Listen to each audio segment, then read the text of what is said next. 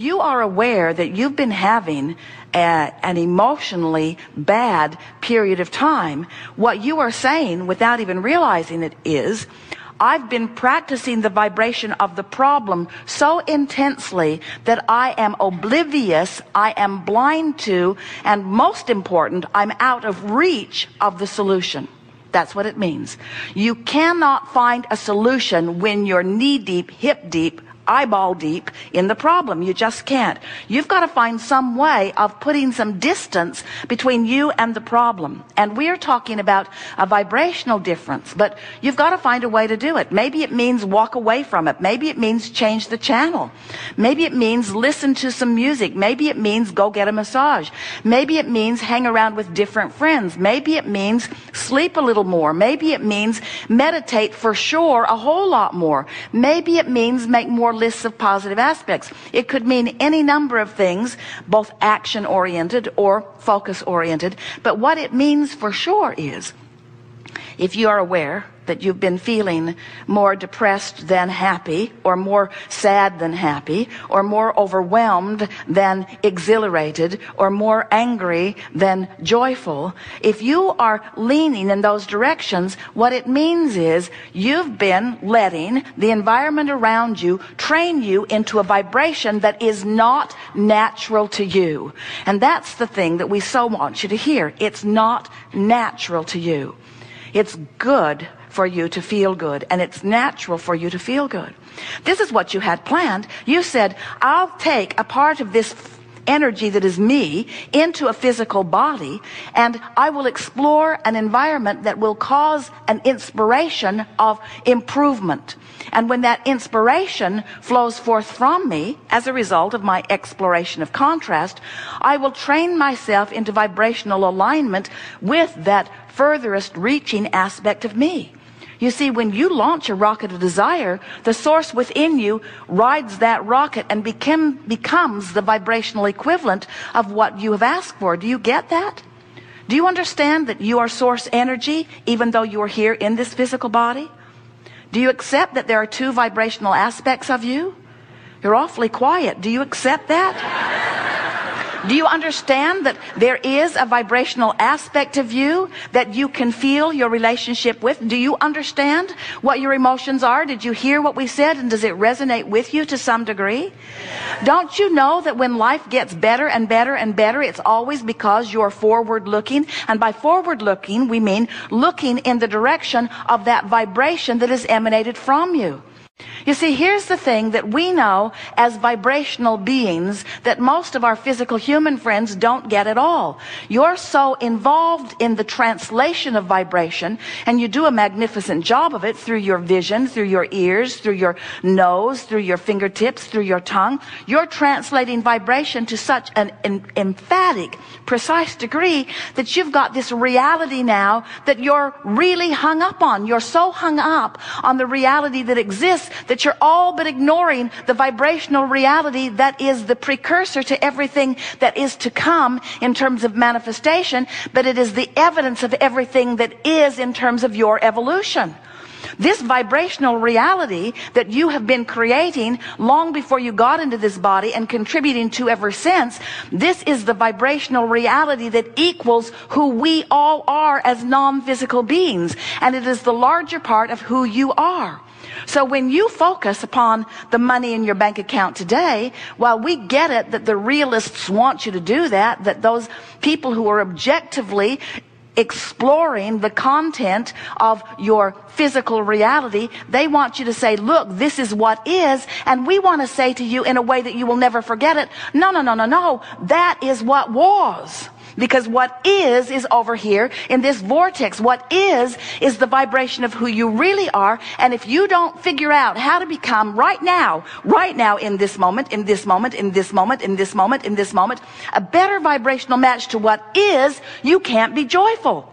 You can't be hanging around in what was. And you say, Abraham, how can you call I just looked online. I'm looking at my current bank balance and you're telling me it's not current?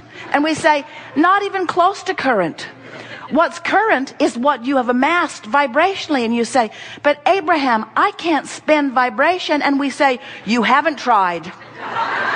You haven't even begun to try. You are not cashing in your vibrational currency. You're not. You're hanging around, most of you, over here outside the vortex, outside the vortex where everything that you want and everything that you have become is. You're hanging around outside the vortex and complaining about what is. And we say, it's old news. Let it go. Let it go because you know, when you had that gut wrenching realization that you didn't have enough money, you put more vibrational financial currency into your vibrational reality. You did. And if we can convince you today of the reality of this vibrational reality and of the real timeness of this vibrational reality and of the present tenseness of this vibrational reality. And we can convince you in some small part to make a decision that you want to find a new addiction. You want to find a new addiction to the good feeling emotions that you only ever find when you're focused in your vortex or looking in the direction of it. If we can convince you of the validity and the existence and the reality, the real-time reality, the furthest, most reaching reality of who you have become, and you are willing to not need to defend what is because it's old news anyway. What you're going to discover as, as you begin to hang around more in this vibrational sphere, fully connected with the wholeness of who you are, you will be able to look at reality as it now exists feeling only love and appreciation for it because it was the other side of the wave that equaled this, which is who you are, you see. Now we know as physical friends explore the fullness of who you are, over time you have summoned a lot of fairy tales, analogies, parables, examples to try to help you to wrap your thoughts around who you really are. It's big who you really are. And we know that as we stand here in Esther's body, using Esther's ability to decipher and translate our blocks of thoughts into this language that you are hearing, we know that as you watch us wave Esther's arm in a circle and call it the vortex and continue to point at that spot on the floor and call it something that you need to get excited about. We know that that stretches the boundaries of your reality based world. We know that it does. But it is our promise to you that as you hear what we know, you will find resonance with that larger part of you who knows it too. And as you feel the resonance with our description of these laws of the universe and our description of who you are and how you fit into the larger scheme of things. As you listen to our description of what your emotions are and why you feel the way you do, as you hear our description of this vibrational relationship between this physically focused you and this non-physically focused you, as you listen to these words, you will begin to feel the absolute resonance of that knowing because the larger part part of you is this knowing and knows this knowing and is offering it to you never endedly.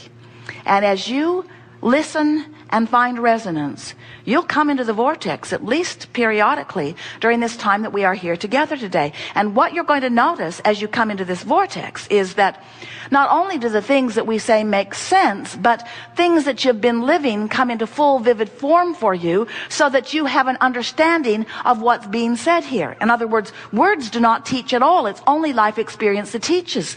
But as you feel the resonance, in other words, as we lure you inside this vortex and you get up to speed with the full knowing of who you are, everything about your life will begin to make sense to you.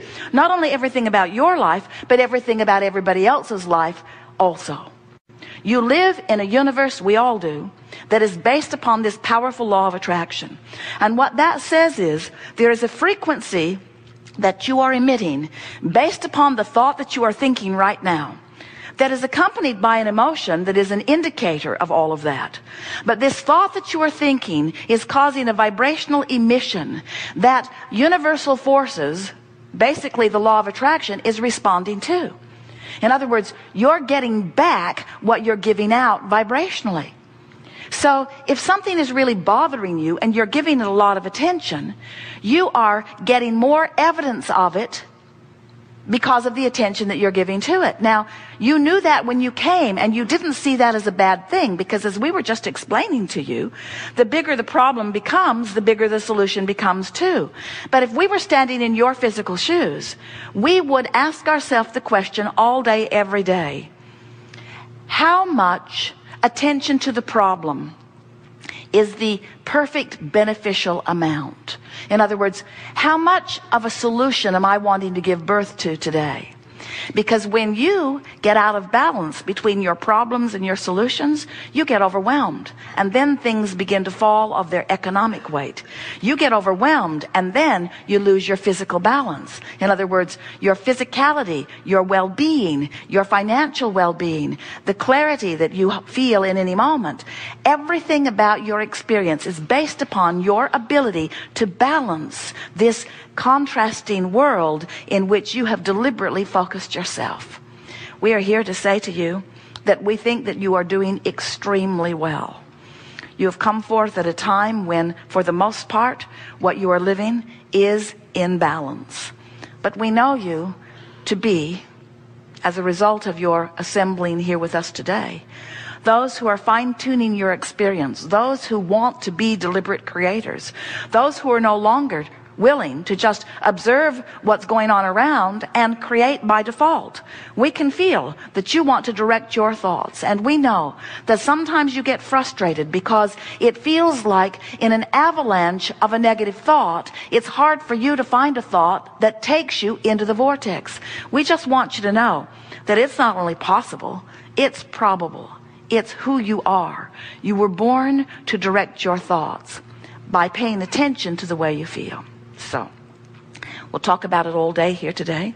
It's our expectation that you will find yourself in the vortex over and over and over again. It's also our expectation that as a result of this conversation that we experience together here today, that we will undoubtedly take thought to places that it has not been before.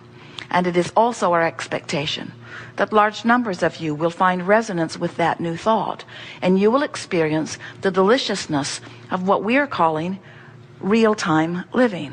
In other words, part of a conversation that gives birth to a new thought that you are in the moment already up to speed with. When you're up to speed with the new thought, you are riding the crest of the wave in the process of creating just like you knew you would when you made the decision to come into this physical body to begin with. Not one of you said, I'll go forth and suffer into expansion. Every one of you said, I'll go forth and think into expansion. I'll explore and I will come to conclusions and I will focus upon the best conclusion that I'm able to conjure as I move along. I will be a deliberate creator. It's what you said. And we're here to remind you that you said it and that you meant it and show you how easy it is to do it.